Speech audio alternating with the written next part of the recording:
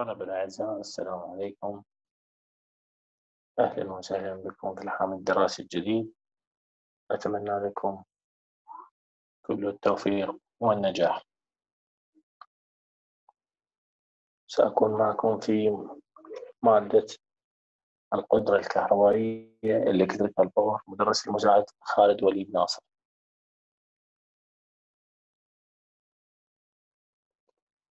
بالبداية أحب أن أشرح عن مفردات مادة القدرة الكهربائية. نشرح نتناول بالفصل الأول.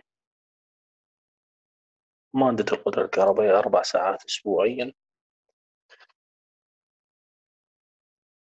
نتناول بالفصل الأول sources of electrical energy وهي مصادر الطاقة الكهربائية. Structure of power system and its elements. Major sources مصادر الطاقة بكل أنواعها conventional renewable energy conventional اللي معتمد على الوقود الأحفوري ومصادر الطاقة المتجددة كالرياح والشمس الجزء الثاني من المادة يتمحور حول the economical aspects of power systems. اقتصاديات أنظمة القدرة منحنيات الحمل economics of generation load curves choice of size and number of generator units. اختيار محطات القدرة حساب الأحمال الأحمال المطلوبة وما إلى ذلك. الجزء الثالث وهو ال mechanical design of transmission lines. التصميم الميكانيكي لخطوط نقل القدرة. ويتناول conductor materials مواد المواد الموصلة من الأسلاك line آه، supports دعامات خطوط النقل أو الأعمدة ال sag التدلي وال calculation of sag وحساباته effect of wind and ice كذلك من ضمن حسابات ال sag. وتأثير الرياح والثلوج. على التدلي ال insulators voltage distribution of over an insulator string العوازل وحسابات توزيع الفولتيات على سلسلة العوازل وكفاءة سلاسل العوازل. ثم ننتقل إلى transmission line parameters وهي عناصر خطوط النقل. عناصر خطوط النقل الرئيسية اللي هي اللاين resistance واللاين inductance واللاين capacitance. اللاين resistance وهي آه، عنصر المقاومة وال inductance المحاثة والمتسع. كذلك ناخذ هذا الفصل ال single phase وال three phase parameters. ثم ننتقل إلى electrical characteristics of overhead transmission lines واللي تمحور حول تمثيل خطوط النقل ال short medium long transmission line القصيرة والمتوسطة والطويلة. ودراسة أداء وكفاءة خطوط النقل. يبقى ظاهرة الكورونا التي تحدث في خطوط النقل وال disruptive voltage فولتية القطع و visual critical voltage فولتية الحرجة المرئية اللي تكون مرئية بها الكورونا وال corona losses وخسائرها والعوامل المؤثرة على حدوث ظاهرة كورونا. الجزء الأخير بالفصل الأول راح يكون ال underground cables واللي نتناول به ال conductor materials وال insulating materials sheathing and armoring materials العزل وطبقات العزل وتسليح وتقوية القابلوات. Types of cables أنواع القابلوات. Stress and capacitance. Use of intersheath استخدام ال intersheath وال grading of capacitance تدريج هاي المتسعات وال power factor. كذلك مقارنة راح تكون في نهاية فصل بين ال overhead lines and underground cables حتى نعرف الفرق بين transmission line وال underground cables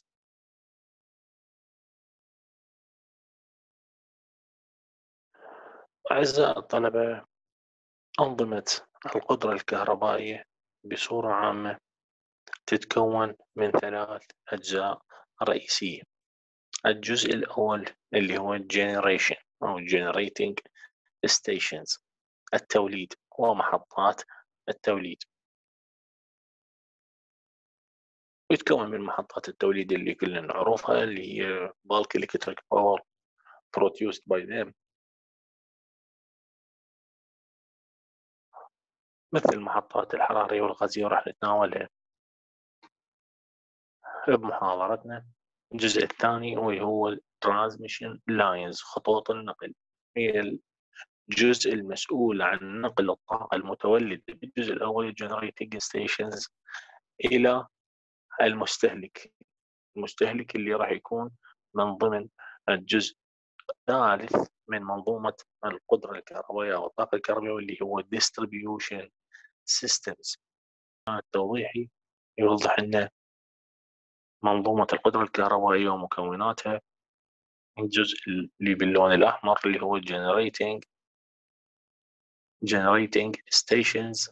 طبعا هذا الجزء كذلك توليد وبنفس الوقت مسؤول عن رفع الفولتية وخفض التيار عبر محولات step up transformer لتقليل الخسائر في خطوط النقل. الجزء الأزرق اللي هو خطوط النقل واللي إحنا بالعراق متكون عندنا من مستويين من الفولتية 400 كيلو فولت و 132 كيلو فولت. نوصل إلى الجزء باللون الأخضر وهو ال distribution system الجزء الأول generating stations هو الجزء الأول من منظومة الطاقة الكهربائية راح نتناوله بمحاضرتنا. تعريف generating stations ومنين يتكون؟ بصورة أساسية the generating station essentially employs a prime mover coupled to an alternator إذن بصورة أساسية عندي يتكون من برايم موفر prime mover هو جهاز ينطينا حركة تدوير coupled to an معشق مع alternator مولد for the protection of electric power the prime mover ال prime mover شنو؟ هو مثل إيش؟ ال prime mover مثلا steam turbine توربينة بخارية أو water turbine اللي توربين ماي مثل ما موجود بال hydroelectric power station أو gas turbine أو توربين غازي. converts energy from some other form into mechanical energy. يعني وظيفته راح يحول الطاقة اللي جاي إلى بأي شكل إلى طاقة ميكانيكية طاقة ميكانيكية أي طاقة حركية. دورانية. وال alternator هاي وظيفة كم من وظيفة prime mover وظيفة ال alternator معروفة اللي هي مولد alternator convert mechanical energy يحول الطاقة الميكانيكية of the prime mover اللي جايتني أصلا من ال prime mover اللي هو أصلا coupled ويا الالترنيتر into electrical energy إلى طاقة كهربائية.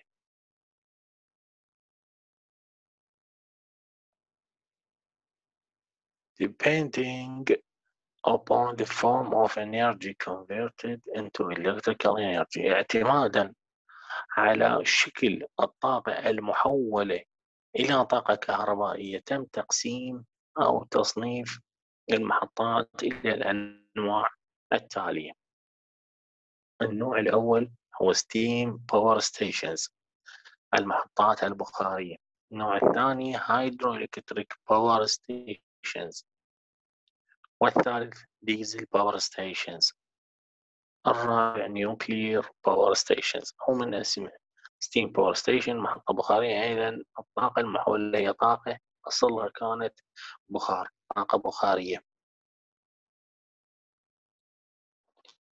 hydroelectric اللي هي المحطات الكهرومائية. إذا محطة أساسها أساس الطاقة هي ضغط الماء أو حركة الماء وكذلك الديزل وال nuclear النووية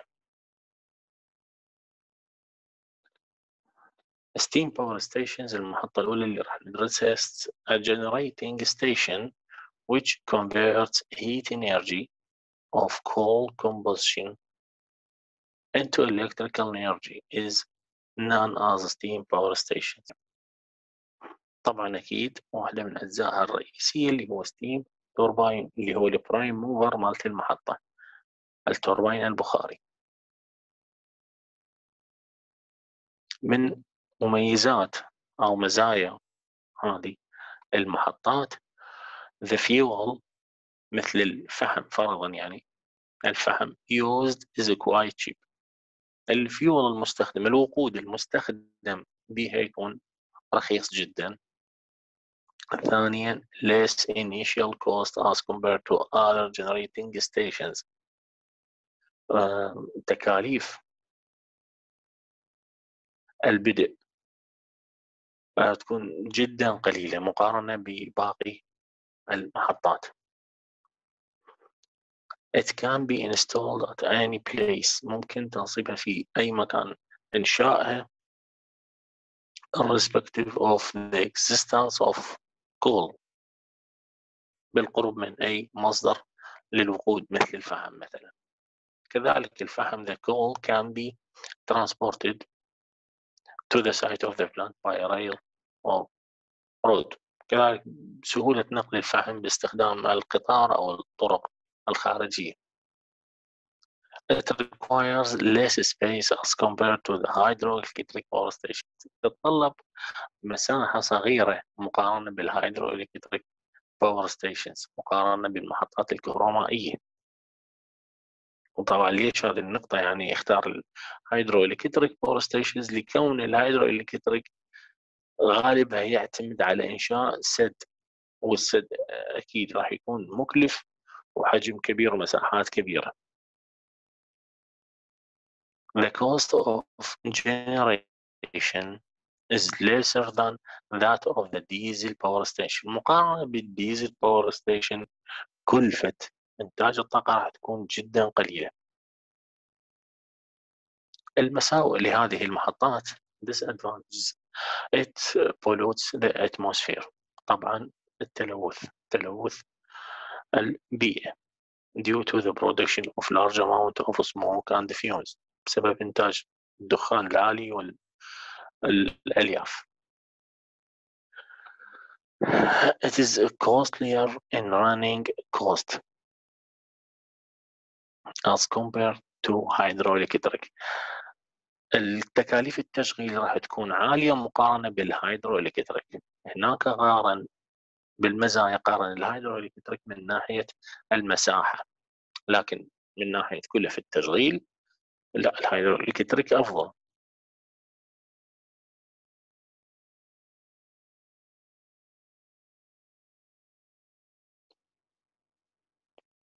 Schematic arrangement of steam power stations. وهي مكونات ومخطط المحطة البخارية. تتكون من أجزاء أساسية. الجزء الأول coal and ash handling. Arrangement الأجزاء وعوامل المتعلقة بالفحم والآش يعني الرماد steam generating plant محطة توليد البخار. Steam turbine توربين البخاري. Alternator مولد feed water. مصدر ماء أو تغذية تغذية الماء. الكولينج arrangement. وجزء التبريد.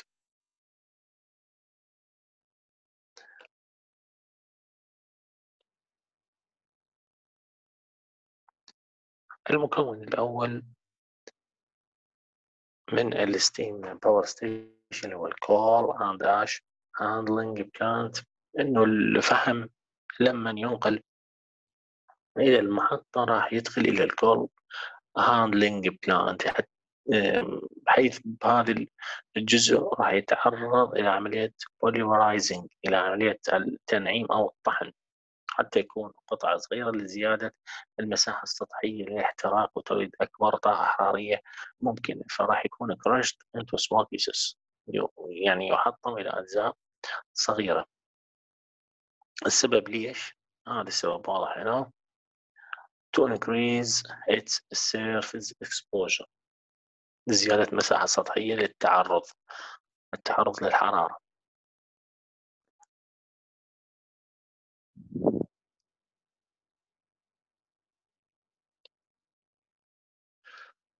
ال pulverized coal يعني الفحم اللي تعرض لعملية الطحن ينقل عبر حزام ناقل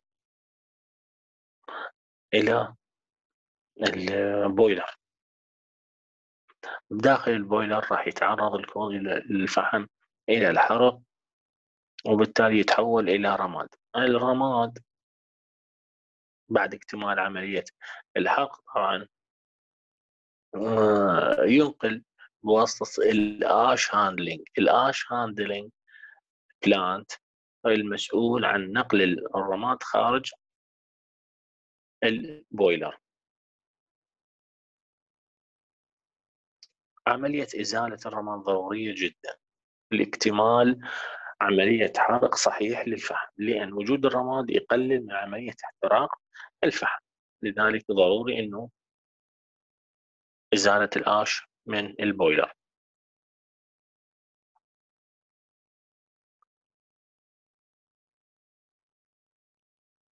طبعا حتى نتعرف على كمية الاحتراق مال الفحم وش قد تولد لنا كمثال بالمحطات الحرارية الحديثة.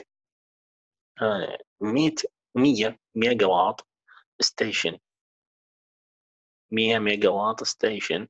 operating at 50% load يعني الحمل المسلط عليها 50% من طاقتها.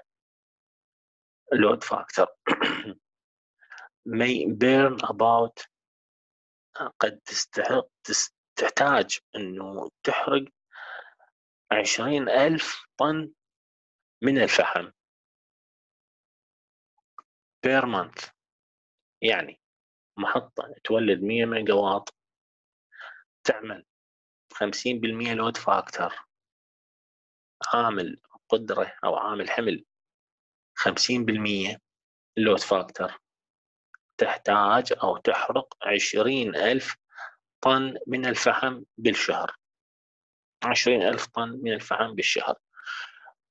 And ash produced may be to the tune of 10% الرماد المتكون أو الناتج من عملية الحرق of 10 إلى 15% of the coal fired. يعني 10 إلى 15% من ال 20000 طن شهريا راح يكون الناتج يعني من 2000 إلى 3000 طن آش. In fact, the thermal station about 50 إلى 60% of the total operating cost 50 إلى 60% من هاي المحطات. هذا النوع من المحطات. Of the total operating cost يتكون من fuel purchasing and its handling. يعني 50 إلى 60% من تكاليف العمل.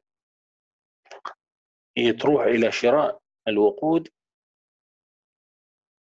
ونقله وتخزينه وتفريغه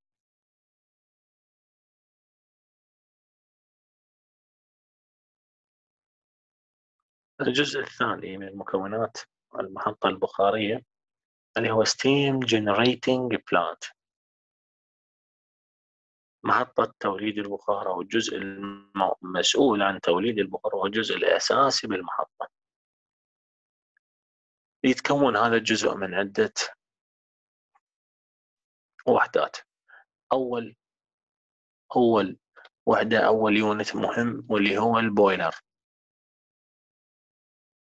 The heat of combustion of the coal in the boiler is utilized to convert water into steam at high temperature and pressure هو الجزء المسؤول لتحويل الماء إلى بخار بس مو اي بخار بخار at high temperature and pressure اركز على هذه النقطتين بخار بدرجة حرارة عالية وضغط عالي طبعا بفعل الحرارة المتولدة من حرق الفحم أو الوقود the flue gases from the boiler from the boiler make their journey through superheater, economizer, air preheater, and are finally exhausted up to atmosphere. كل الغازات الجارية أو الناتجة والطالعة من ال boiler راح تتجه؟ برحلة معينة رحلة علما تبدي خلال ال super heater. هذه كلها أجزاء أجزاء تابعة إلى ال steam generating plant اللي هو أول واحد steam أو super heater. بعده من ال super heater إلى ال economizer بعد إلى ال air preheater. بعدها finally exhausted to atmosphere through the chimney. تروح إلى الهواء عبر ال chimney اللي هي البارجات أو المدخنة المداخن الضخمة اللي نشوفها بالمحطات الضخمة.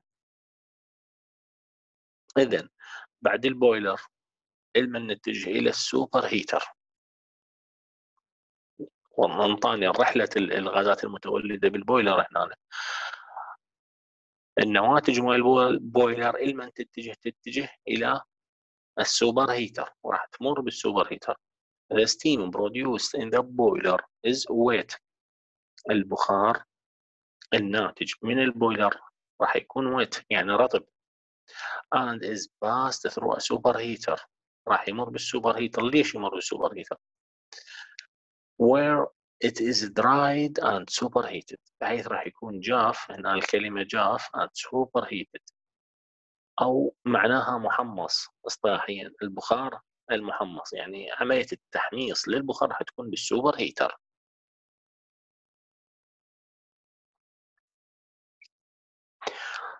طبعا راح ترتفع درجة الحرارة للبخار بداخل ال super heater أكثر مما هي كانت بالنقطة مالت ال boiler.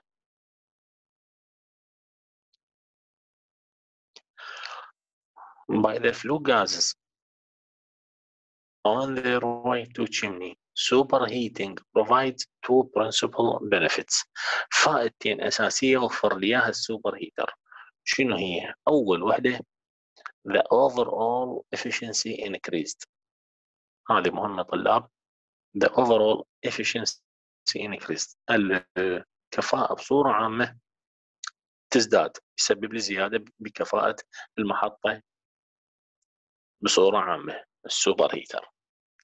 الفائدة الثانية too much condensation in the last stage of turbine is avoided. بعدنا ما ماخذين ال condenser لكن آه إنه قلل لي عملية ال condensation بجزء كبير جدا. Is avoided. Which would cause blade corrosion. يعني إنه لما نتحول البخار من بخار رطب إلى بخار محمص. وراح يقلل لي من blade corrosion ال blade اللي هي شفرات التوربين corrosion يعني التآكل. من تآكل شفرات التوربين.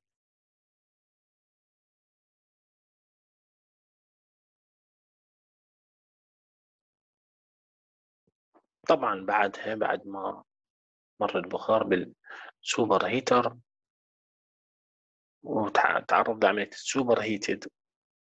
راح يغذى إلى ال steam turbine من خلال ال main valve من خلال ال valve الرئيسي. إذا نرجع نشوف المخطط للمحطة. أنا ما شرحته لأن ناخذ الأجزاء شنو فائدتها حتى واحد يقدر يفهمها.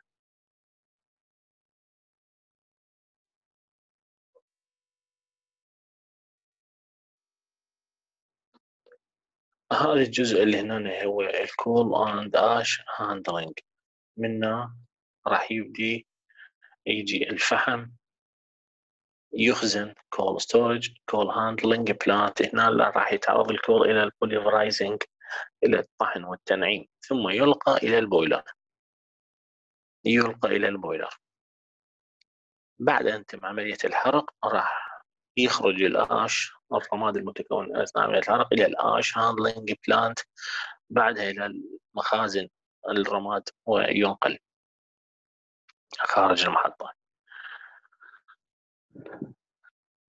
عملية الحرق اللي أدت إلى تبخير الماء وتحويله إلى steam راح يخرج ال steam من ال boiler هذا الاتجاه هنا إلى ال super heater أو غازات الاحتراق إلى ال super heater. راح يكون داخل ال super heater عملية تحميص البخار. طبعا راح يخرج البخار بضغط عالي ودرجة حرارة عالية وبال super heater راح ترتفع درجة حرارته بعد أكثر. وصل إلى درجة الضغط والحرارة المطلوبة. يخرج البخار إلى التوربين عن طريق هذا ال valve الصمام الرئيسي main valve اسمه main valve إلى التوربين اللي هو هذا التوربين. هذه الدورة دورة المياه إلى ال super heater وال turbine. بالتالي يسبب لي البخار بالضغط والحرارة عالية راح يضرب على الريش التوربين على شفرات التوربين وراح يسبب تدوير. هذه الحركة الدورانية أو الدوران التوربين راح يدور معاه كذلك اللي هو معشق coupled وياه ال alternator يعني المولد ويسبب لي توليد الكهرباء. الجزء بعد ال super heater هو اللي هو ال economizer. ال economizer is essentially a feed water heater and derives heat from the flue gases طبعا الغازات اللي راح تلقى بها حراره كذلك معي راح يستخدم استخدم ال economizer حتى استخلص حراره أكثر من عندها واضيفها إلى ال water مالتي إلى ال steam مالتي The feed water is fed to the economizer before apply, supplying to the boiler. The economizer extracts a part of heat of flue gases to increase a feed water temperature. يعني بالمخطط.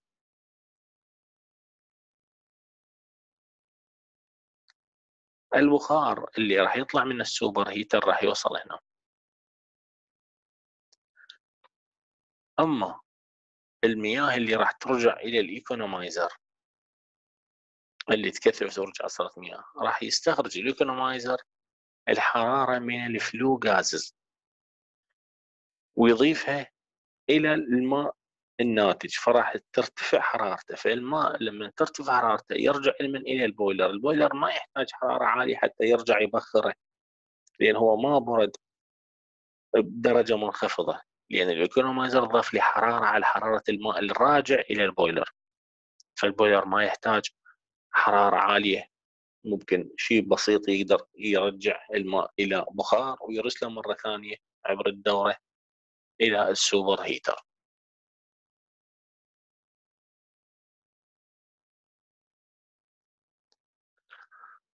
الأير بري هيتر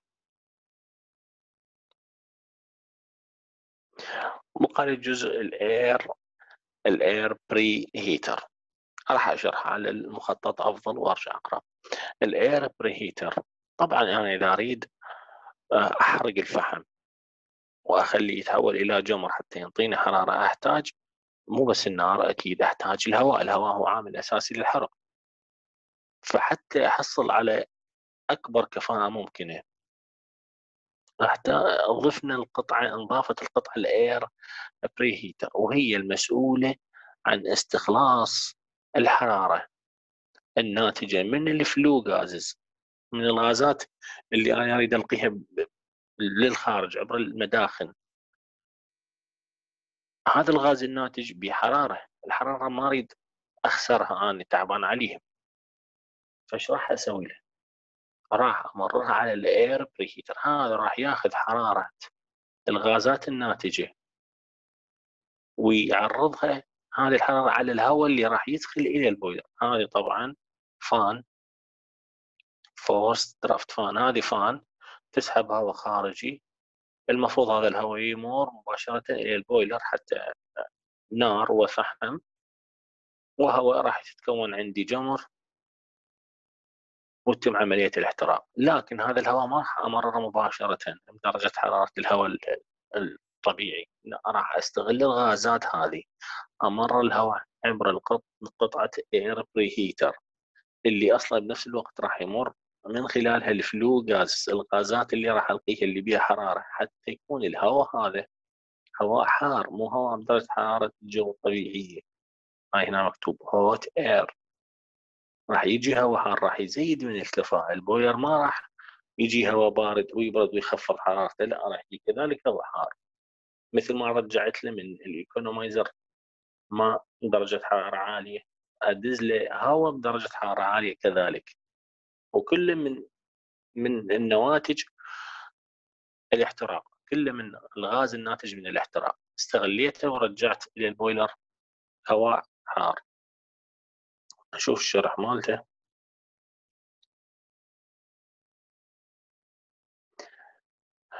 an air preheater increase the temperature of the air supplied to the coal burning by deriving heat from flue gas هذا يشرح عمل ال air preheater باختصار هو راح ينطيني زيادة بدرجة حرارة الهواء المجهز إلى عملية حرق الفحم منين؟ منين راح أجيب الحرارة؟ by driving heat باستخلاص الحرارة from flue gas من غازات الاحتراق أو نواتج الاحتراق.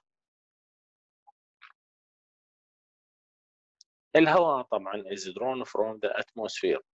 الهواء مسحوب من المحيط الخارجي by force draft fan. وشرحناها بالمخطط ال fan. مراوح تسحب الهواء الخارجي. And is passed through air preheater الهواء ما يفوت مباشرة راح يمر عبر ال air preheater ثم بعدها إلى ال boiler هذه وظيفة ال air preheater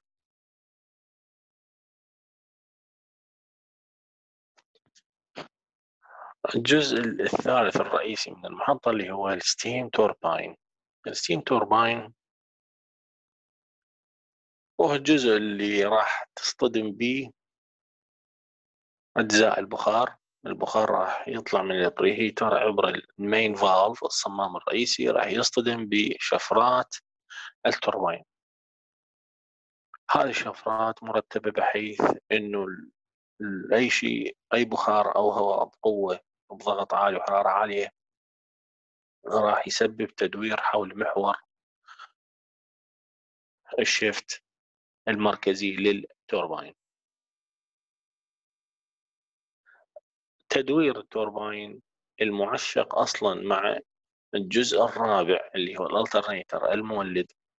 راح يسبب وياه طبعا تدوير ال alternator لأنهم على shaft واحد قطعة واحدة. فدوران ال alternator كذلك راح يسبب توليد الكهرباء لأن الملفات تقطع خطوط الفيض المغناطيسي. الوهمية وتسبب توليد شحنات الكهرباء وبالتالي تتولد عند الطاقة الكهربائية.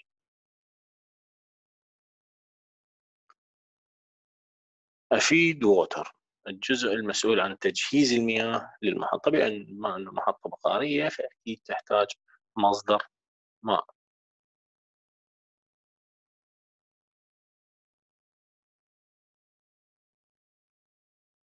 جزء الفيد ووتر.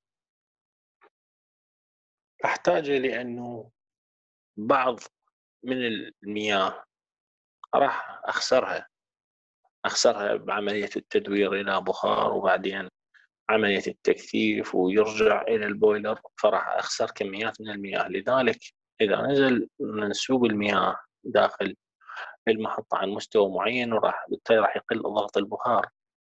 المستوى نحتاج تعويض هذه المياه. طبعا تتعوض المياه عبر مصدر خارجي. ممكن يكون نهر مثلا أو أحواض خاصة.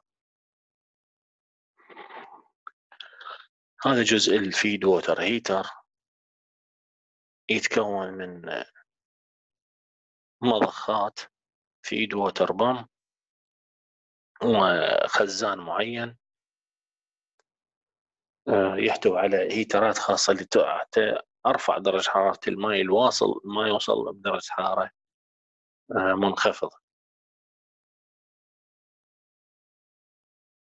هنا كذلك water treatment chamber غرفة معالجة المياه. طبعا إذا كانت مصدر خارجي أكيد يحتوي على الكثير من الرواسب يحتاج إلى فلتر فأفلتر المياه مالتي أرشحها حتى ما تأثر على الأنابيب لأنه إذا ما ترشحت بصورة صحيحة راح تصير عندي عملية corrosion بالأنابيب تآكل.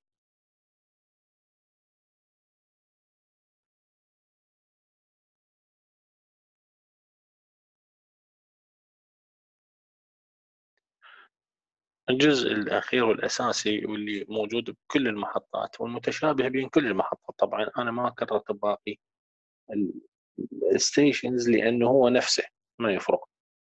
Electrical equipment of steam power stations. كل عمليات التحويل بالتالي تقودنا إلى الجزء الكهربائي والجزء المهم اللي أنا أريده ومن من اجله اني أسست المحطة. يتكون من ال alternator واللي هي المولد. الجزء الثاني transformer generating station has a different type of transformer أكو مجموعة متنوعة من المحولات. محولات الأساسية ال main step up transformer أو ال power transformers ال main step up transformers which step up the generating or generation voltage for transmission of اللي هي ترفع لي الفولتية من أجل نقلها إلى خطوط النقل. عبر خطوط النقل. النوع الثاني من المحولات station transformers. المحولات الخاصة بالمحطات. بالمحطة هي نفسها which are used for general service. مثلا المحطة تحتاج lighting بها مضخات معينة تشتغل.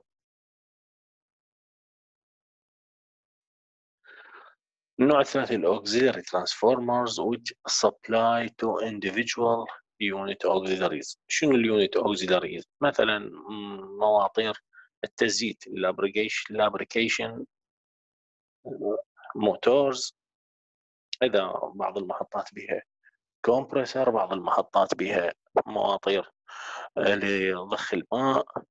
هسه مثلا بال steam turbine عندي fan. يعني fan يعني أكيد موتور راح يفر ال fan. هذه كلها راح تاخذ كهرباء. أو الطاقة من ال auxiliary transformers. إذا ثلاث أنواع من المحولات ال main step up transformers ترفع الجهد من أجل النقل عبر خطوط النقل للطاقه لتقليل الخسائر. وال station transformers اللي هي الخدمية اللي نحتاجها لل lighting واللي باقي يعني للبناية مال المحطة. ال lighting التبريد مال غرف الموظفين. ال auxiliary transformers اللي هي نحتاجها للمحطه نفسها للماطورات والمحركات المساعده لعمل المحطه الجزء الثالث من electrical equipment